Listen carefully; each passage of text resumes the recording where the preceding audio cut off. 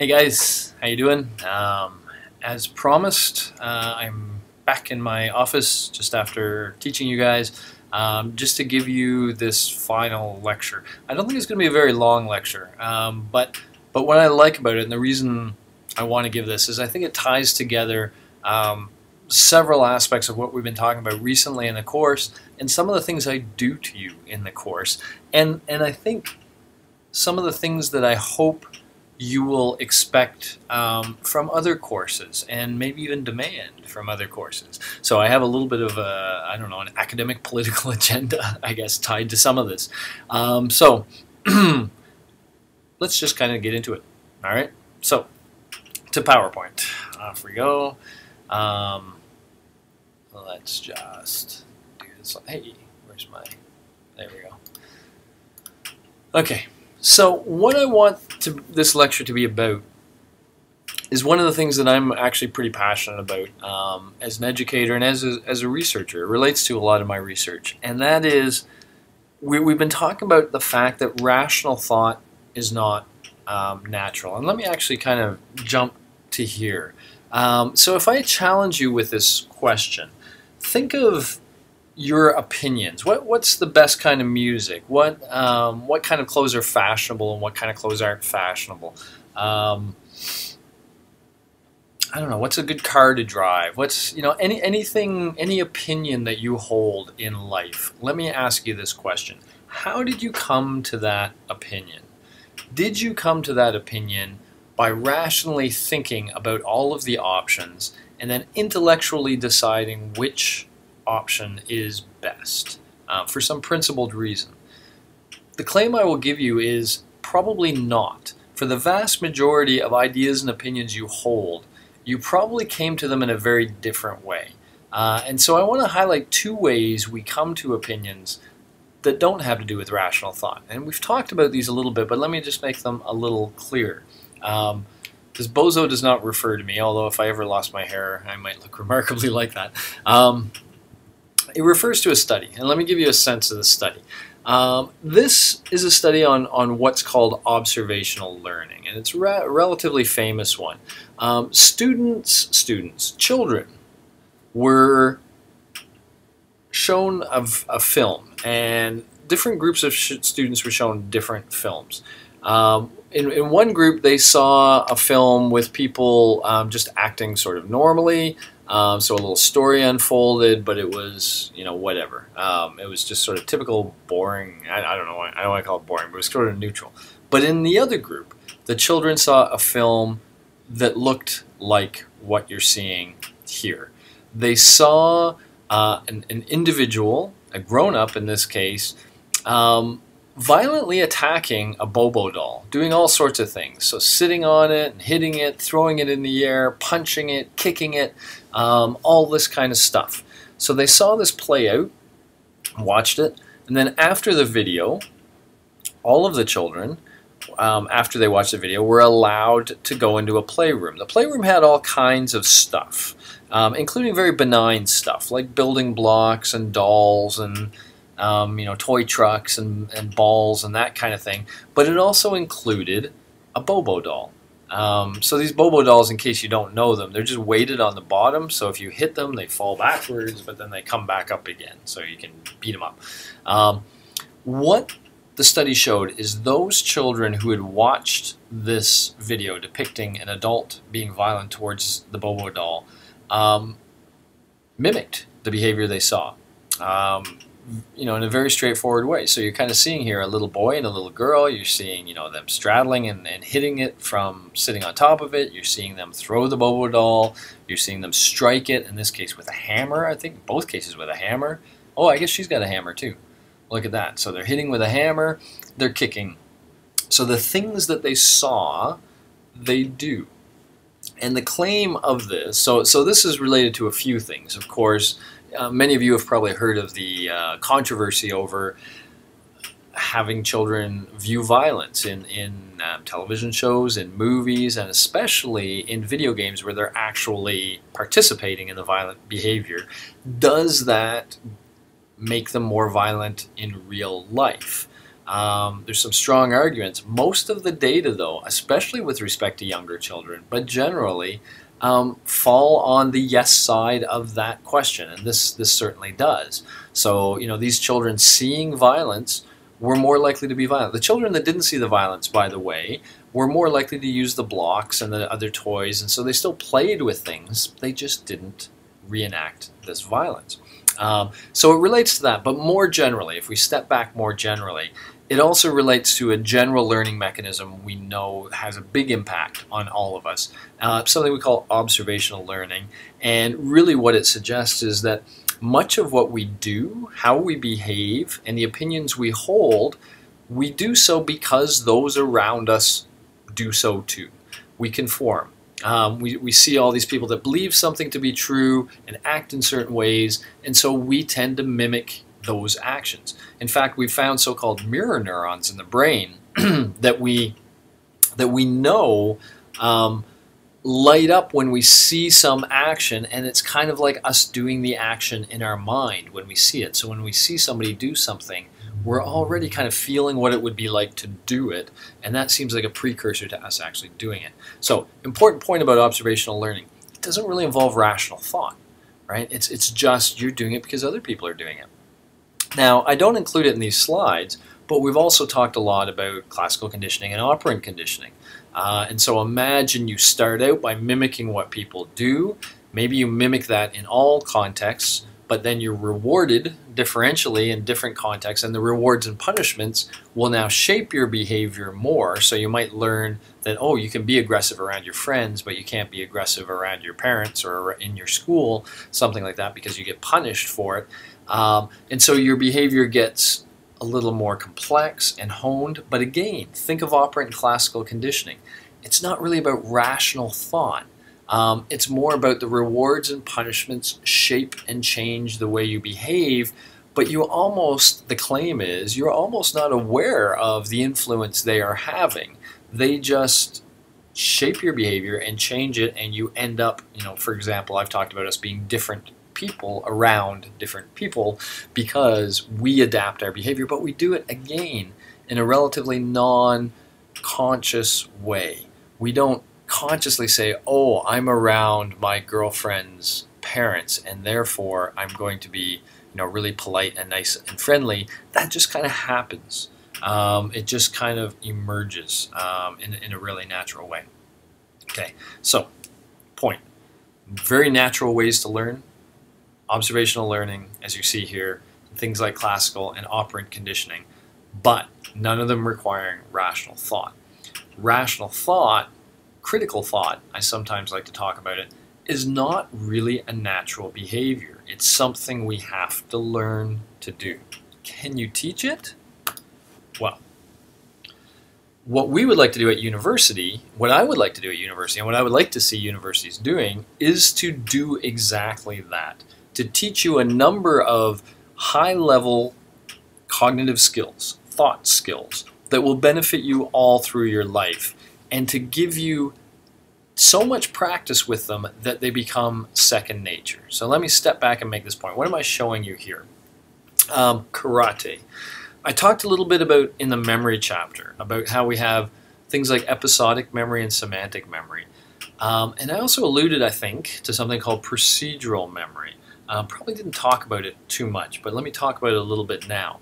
Um, here's my favorite example, just to give you context. I like to say you can learn a lot about karate in, let's say, a one hour lecture. But if you want to learn to do karate, you are not going to learn to do that in one hour. You're not going to learn to do that in one week or one month or one year. You'll get better in a year, but the only way to learn something like karate, something that requires skill and a coordination of all these um, behaviors, in, in case of karate, muscle groups, all that kind of thing. The only way to learn skills is through repeated, effective practice. You can learn information just by being exposed to it. So a good lecture can give you a strong episodic memory. It can also give you information in your semantic memory. A good textbook can do the same. But if you want to learn to do something, play basketball, play electric guitar, do karate. Um, you know, anything, drive a standard transmission car, drive a car in general. Uh, anything that requires skill and, and linking certain behaviors together, you have to practice. And as you practice, you start out being crappy, but you get better and better and better. If you do karate enough, if you practice karate enough, something really interesting happens. If somebody comes up behind you in the middle of the night and grabs you from behind, your karate becomes second nature. It becomes automatic. You kick their ass first and you see who they are second, and you hope it wasn't, you know, some friend playing a trick on you or something like that. Um, any skill practiced enough. Think of Jimi Hendrix playing electric guitar, and if you don't know who Jimi Hendrix is, shame on you. Go go to YouTube right now. Stop this lecture. Go to YouTube. Watch Jimi Hendrix. But think of somebody like that who's highly skilled. Now, clearly, they weren't born playing electric guitar. They got to the skill level they got by playing and playing and playing and practicing and practicing and practicing. The more you do it, the more it becomes just automatic, second nature. So Jimi Hendrix, I bet you could have a full-scale conversation with him while he cranked out some amazing guitar, um, and he could probably do that and talk to you at the same time because for him, guitar playing is just part of who he is. Um, just you know, oozes out of him. For all of you guys, what I my dream for university is that we will give you repeated effective practice in using your thought processes certain ones I'll highlight in a moment. Uh, and if we do that regularly for four years while you while we have you here, then maybe these things will become second nature for you, and that can have really positive effects. So what do I mean? What, what am I even talking about? What are these cognitive skills? Um, well, here, here are the usual suspects. Here are the things I think a lot about and worry a lot about. Critical thinking. So what I'm giving you here is the, the term critical thinking, but some these are some verbs that we kind of associate with it. So your ability to analyze things, compare things, evaluate what's better than than what, question what you're you're learning about, differentiate how is something subtly different from something else, categorize it, what you know, how is it similar than other things, what category does it go to? All of these require critical thought. I would love to give you a lot of practice thinking critically because I think with that practice, your skill will develop and it'll move towards second nature. Let me go more quickly through some of these other ones now. Creative thinking. So if you find a problem, can you come up with a solution? So finding solutions, building on things, improving things. Communication. And I have two in expressive and receptive here. Expressive is how proficient you are at getting the ideas that are in your head out of your mouth in an effective, powerful way.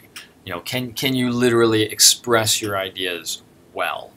Receptive is can you shut up and listen to the ideas that other people express and understand and get them?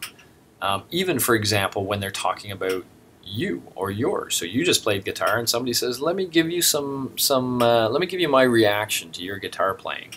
Do you know enough to shut up and listen, so that you might actually benefit from what that person has to say? That's called receptive communication. And so communicating well is all about how you structure your communication, how clear you are, how efficient, and how you, you know, get impact with it. I would like you guys to be constantly being pushed to use these skills. Collaboration, um, it's literally a skill to be able to work with other people well. And again, you're only going to learn that skill if we ask you to do it. And self-reflective thinking. It's kind of like critical thinking, except it's directed at yourself. Can you look at your own behavior, your own tendencies, see what you do well, but critically understand and appreciate what you're not very good at? Um, and you know that's a critical step towards getting better at anything is realizing well i'm not that good at it so i need work i need to i need to focus on that area um, this is often considered the hallmark of you know the best students, the best employees, etc. People who are called reflective, the best professors. Think of this as a professor. You want reflective professors. You want a professor that gives you some learning experience, but then asks themselves, was that as good as it could have been? Are there any flaws in my class? Are there things I could be doing better? Um, if you have a reflective professor like that, well, they're probably going to keep making their class better and better all the time. Um, and, and so this is a good skill. But again, it's something you have to have experience. So back to my dream. My dream university is we would be teaching you these thinking skills. We would teach we would be teaching you not by lecturing to you about them, but rather by asking you to use them, just like karate. Asking you to think critically, asking you to think creatively, asking you to communicate, asking you to collaborate, asking you to think self-reflectively, and doing that over and over. If you did that over and over again, my claim is the skills you would learn here are perhaps more important than any content we could give you. More important than anything I tell you about psychology. Now, maybe that's useful, but you can find it all on Wikipedia anyway, in a way. But if you leave university with these skills, these are the skills that will make you successful in, in anything you decide to do in life. So, how do you teach these skills? In small classes, people teach these skills by challenging their students to think. So they, it's, it's pretty easy to say, here's some idea. What do you guys think about that? You, you know, and you, you imagine the teacher pointing at people. You, what, what are your thoughts? What are your ideas? So what are you now doing? Well, you're asking the student to think critically, to express their ideas well, um, and let's say the student does that, then you might ask some other student, well, what do you what do you think of their idea? Do you have any comments for them? Uh, and so you're asking somebody else now to think critically about their idea, express their ideas while this person is listening to their ideas and reflecting on them. So the idea is that in a small class, this kind of practice happens um, or can happen more naturally. I don't always think that's true, by the way. Um, most small classes, you have like like you see here, two people who want to answer every question and a bunch of people who just want to shut up and blend into the background. Uh, and so it's difficult sometimes to get everybody participating and using these skills the way you'd like. But theoretically, in a small class, it's possible. Um, and in fact, one of the reasons many people worry about large classes like ours is because you can't do this anymore.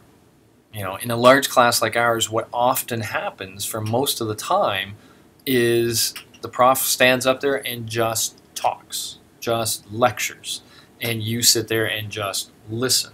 So it's very passive um, from your perspective. Again, very good for transmitting information to you, but where do you get these skills? Um, are you thinking critically? Are you getting a chance to express your ideas? Are you getting a chance to hear anybody else's opinions on your ideas? You know, no, you're not. Uh, and in fact, my biggest pet peeve at universities are large classes where they only give you multiple choice exams because essentially this now becomes all about information, feeding you information and seeing if you can give it back, where and not giving you practice with all of those things I showed you on the previous slide. So for our class, you know, going back years ago, I, I thought about this long and hard. How can we, with 1,900 students, many of who participate online, how can we give you guys the experience I think you need to really be, be successful in life? Um, how can we make sure our classes are not reduced to just transmission of information? And this, this now feels like an advertisement, but I hope by now that you see that that was the goal of the Peer Scholar assignment. Um, that you know, asking you to submit first an argument required you to think critically and to communi- communicate your argument as well as you could. But now when you're assessing your peers' work, you're critically thinking which ones are good, which one isn't good, what makes one good, what kind of grade or rating would I give to that? Um, I ask you to find the, the biggest thing this person could improve. So again, you're looking at a person's work and saying, well, what is that one thing that would make the biggest difference? A lot of critical thought going on. I then ask you, by the way, to not only communicate that thing that could be improved, but to also communicate a solution, uh, a path this person could take to try to improve that work. That requires creative thought and communicating creative thought. Of course, you're working on this in a collaborative way. Everybody's working together, so you kind of get that group thing happening. Um, caring and citizenship are other things thrown in there a little bit. Um, uh, the suggestion is we need to model this better in our classroom. Um, caring, as you hopefully realized, I took great pains to try to convince you guys all to be very pro-social, to give comments that were helpful and that were intended to be helpful thereby showing that I care about you guys and you guys care about each other. So we're modeling that. Citizenship, we're all being good academics. Metacognition, sorry, I've changed the word on you here, but this is like self-reflective thought. This is metacognition means thinking about thinking, knowing what you know, knowing what you're good at and what you're not good at. And clearly in Peer Scholar, you know, you've written an argument and submitted, and now you see all these other arguments that gives you a really clear sense of how your work fits with the work of your peers. So it gives you a very strong, palpable signal of um, the strengths and weaknesses of your own work. Uh, and so hopefully you were being self-reflective. Of course, then you logged back in in the reflect phase and you saw other people's reaction to your work. Now we're talking about receptive communication. You're reading those ideas given to you. You're thinking about them, I hope, uh, and deciding whether they're good or not. Critical thought. You're then trying to decide how you're going to take those ideas and change your work, how you're going to revise, creative thought, and of course, all of this is about your work. These are people pointing out issues with your work. So, of course, you're in this self reflective kind of situation, which we even punctuate by asking you to literally reflect on the process and justify your changes. So as I step back, the reason we give you the Peer Scholar assignment um, is to provide you with structured um, practice in these sorts of high-level cognitive skills that I think are really important to your life. If I have my way, you will run into Peer Scholar in many different classes at U of T so that you'll constantly get this practice, which is what you need to develop the skills that will make you a scholar. That's why we call it scholar. We like to separate what we're trying to do here from the notion of building a database. A database is a repository of information. I don't want students at UTSC to become just repositories of information. We already have those. Uh, you know, we have Wikipedia, we have the internet. Those are repositories of information. What I want you guys to become are people that can work with information in effective ways. That's what a scholar is. Not someone who just knows a lot, but somebody who can use information in creative um, and critical ways. That you can become with practice. Peer Scholar is one example of a tool that I think can provide that practice in any size lecture hall. Um, so my claim here is, of course, that you can train thought. Um, Thought isn't natural, but it can be trained with the right structure. Um, I also like this thought amplifier. This is actually my guitar amplifier. I know it, people don't people have an image of guitar amplifiers, and this doesn't necessarily fit, but this is mine. Um, what I like to emphasize here is, and you might see this in AO2. If you look at the previous slide, I put a question mark on the first thing. The question mark is, well, what skill do you want to exercise? You can exercise any skill you want. So what I'm thinking about for AO2, if we can pull it off, is rather than having you guys do written arguments, I'm going to ask you to find your handy dandy um, smartphone. Find your handy dandy smartphone here and do a video uh, argument. So take a short video, five minutes, of you arguing some position as effectively and clearly as you can. Um, but now we're getting nonverbal communication. We're getting a lot of this other stuff in here. Um, and now I'm, and you're doing oral presentation skills without everybody staring at you, right? Because you can do this in your in your dorm or in your bedroom or wherever you want to do it. Um, you do this video, submit the video, and so now you're submitting an oral presentation. You're working on oral communication skills, and then you think about other people's oral presentations. You think critically, you think creatively. And so everything else you do in Peer Scholar will be about whatever the task was. So it amplifies um, to an extent whatever skill you're trying to exercise with your assignment. Um, this term, that skill was presenting a clear written argument. Next term, it might be presenting a clear oral argument. It could be anything. Um, and the process just kind of amplifies it, which is really kind of cool. All right. I want to mention a couple of things that I always try to keep in mind, and I'd like you guys to think about too. When you're trying to exercise thought, like why is the school system, the general school system, sometimes looked down on? Well, a lot of students find it boring. Uh, I don't want to write a book report about Shakespeare. So, um, you know, think about that situation. You're being told or, or whatever to engage in some exercise. And, and the goal of writing a book report or anything that they ask you to do in school is to give you practice with thought, right? They're trying to do the same thing I'm, I'm talking about here.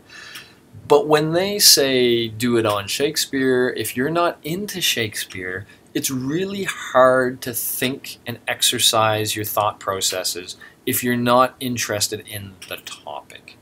What I like to argue about thought is it's the exercise that's important more so than the content that students are working with.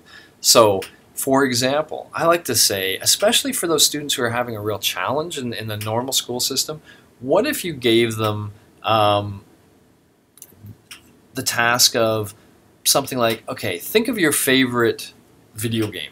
I don't know if this is a character for a video game. He looks like a character from a video game to me. Um, but think of your favorite video game. What is the best video game? I want you to write an argument in defense of some video game that you believe is the best video game in the world. And I want you to argue why it's the best in a clear, compelling way. Well, if you stop worrying about the content and you worry about exercising the mind, this could be a very powerful way to engage the kind of student who isn't normally engaged, the kind of student who can't wait for school to be over so they can go play their video game. But what if they're writing about something they care about and they're arguing about something they care about? That notion of engagement and sort of relevance or authenticity of, of the assignment could suddenly make them buy in and engage in the exercise in a way that's very effective. Um, I have Drake over here because you know you could ask them to write similarly. What's your favorite musical artist? Create an argument for why that person is the best musical artist in the world. Maybe we'll do this next term. Maybe we'll have an oral presentation about the best musical artist, where you defend your best music. I'm kind of liking that. Um, and so the idea here is, you know, as an educator or as someone trying to train thought, what people are thinking about isn't that important. It's the fact that they're thinking that you want. And so maybe it makes sense to ask them to think about something they like to think about, that they want to think about. Um, and that's that's where the mindset changes with something like a peer scholar or whatever, where you can say, you know what, it's the thought I care about. Um, so yeah, we might do. I, I, usually, by the way, go halfway here, as you as you know from the legalizing marijuana uh, example that we did here uh, in our class. Um, the hope there was to make it relevant because this is something that's going on all around you with CAMH. So I hope to get a little bit of engagement, but while still keeping it related to psychology. Um, so I try to walk both of those grounds of, of engagement while still keeping it topic relevant. Um, but the claim I'm making here is the topic relevance is probably less important than engagement. Um, and when you start thinking about thought as exercising thought, you can get to that point very quickly and really challenge um, some curricular aspects that make education boring. All right. And sort of a, a semi-final point here. This is Dwayne, who's co-creator of Peer Scholar, by the way, and this is Tanuke, who now is, I think, making the world a better place, solving all sorts of problems and issues. She's an amazing student, um, but I, I, won't go into detail about Tanuke. Um, but I do want to say the following, that when it comes to trying to redesign the educational experience to make it the best educational experience possible. There is an extent to which you guys are in a far better position than I am to judge what is a good educational experience. I, I can bring a lot of theory to bear. I know a lot of the data and the research. Uh, and, you know, I am a student myself in a lot of many, many different situations. Um, so I do still have a little bit of that student mindset. But you guys, as people who experience university education in a personal way, are in a very important position, very valuable position for someone like me who cares about making your experience good. Uh, and I am very open to hearing your ideas about how we can improve things um, and, and thinking about, you know, maybe can we build technologies that will allow us to use this in any size class, etc. Uh, I do think, by the way, sometimes you don't think about your education properly. This is gonna, I sound like an old guy now. You kids these days. But seriously, um, you guys sometimes get labeled in a negative way as consumers. You paid your money and therefore you think we owe you something. Now, typically that sentence ends with, we owe you good marks. Um, and I think some students do kind of think this way. I paid my tuition, um, and therefore I want good grades. I want, I want to get my certificate. And when you react that way, a lot of professors and other educators go, well, no, that's not how it works at all. You have to earn your grades, blah, blah, blah.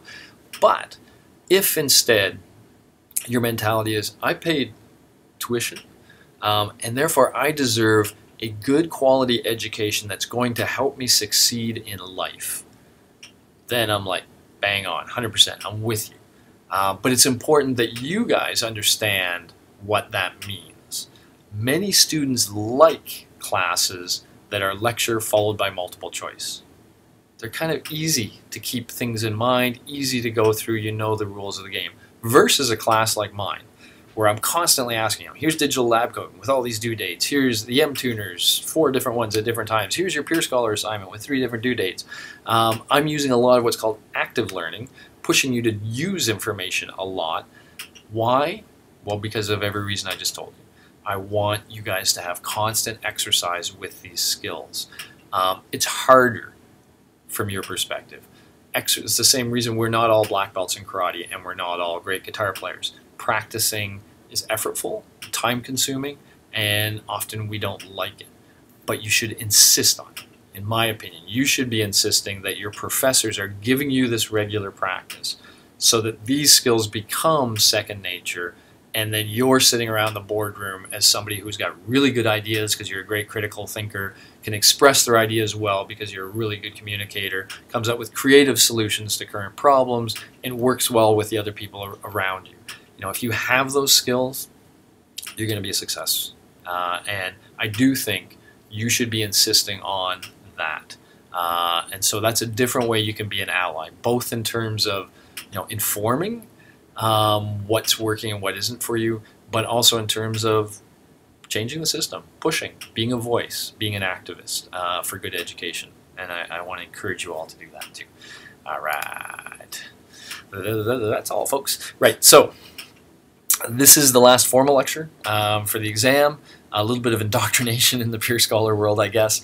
Um, but that's all we have for uh, Intro Psych Part 1. Uh, of course, there will be a Part 2 uh, coming next term. Stay tuned, and I'm sure we'll see a lot of unit. Um, but this is where we are for now. So I'm going to stop there. All right? Absolutely. Good luck on the exams, and uh, I will see you at the exam, and I'll see you next term later. Bye bye.